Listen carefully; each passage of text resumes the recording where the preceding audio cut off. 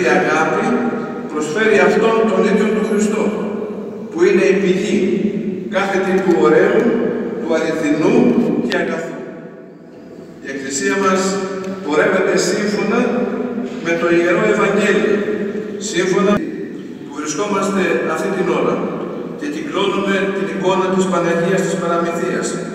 Καλούμαστε να εναποθέσουμε τα δάκρυα της αγάπης και της ευλαβίας μας προς αυτήν.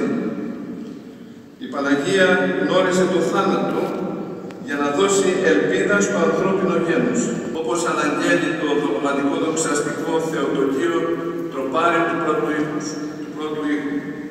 Και έτσι λοιπόν η πάνθωτος και πάνσεπτος ιερά μορφή της Θεομήτρος της επωνομαζομένης παραμυθίας που απόψε την σύναξη εορτάζουμε μας συνεκάλεσε σήμερα δια της ευγενούς προσκλήσεως του Σεβασμιωτάτου Πιμενάρχου σας και εγώ μαζί σας να γίνω συμπανηγυριστής στον αυτόν ιερών ναών των Τρικάλων.